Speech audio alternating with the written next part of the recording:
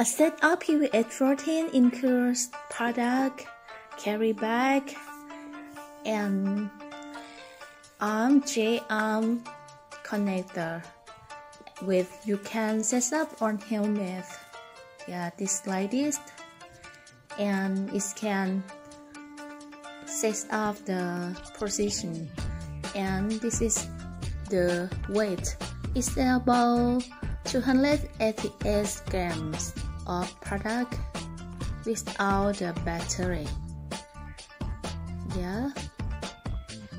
And it can use everywhere at low light area with FOM 1600 parts with autogen